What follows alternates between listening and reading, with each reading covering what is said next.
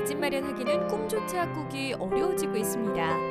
이럴 때 수도권으로 눈을 조금만 돌리면 서울의 노후된 빌라 전셋값 정도로도 더 크고 훨씬 더 훌륭한 내 집 마련이 가능한데요. 자, 오늘은 경기도 안산시로 가봅니다. 지금 보고 계신 매물은 경기도 안산시 단원구 대부 남동에 위치한 주택인데요. 바닷가 가는 길목, 대로변에 인접해 무엇보다 접근성이 상당히 뛰어난 곳입니다. 이 주택은 대지 370제곱미터, 건물 99.62제곱미터의 철근 콘크리트 구조로 2014년 7월에 준공됐습니다. 2층 복층 구조로 내부에 들어서자마자 가장 먼저 모던한 느낌을 물씬 느낄 수가 있는데요. 1층과 2층은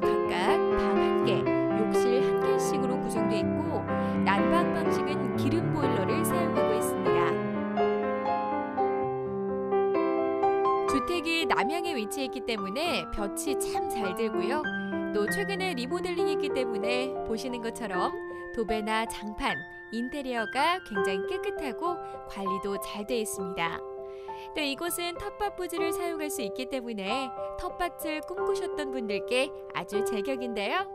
잔디마당과 지상차고, 다락방까지 별도로 마련돼 입주자의 취향에 맞게 공간을 더욱 다양하게 활용해 보실 수 있습니다.